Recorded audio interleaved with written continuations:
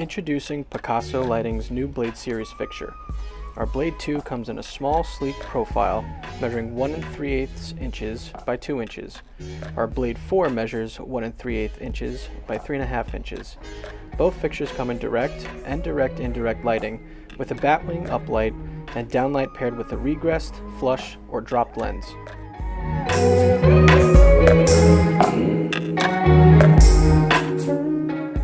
Our Blade 2 uses a remote driver with three types of mounting and can be powered by aircraft cables in 4 foot, 6 foot, and 8 foot increments. Our Blade 4 is equipped with an integral driver.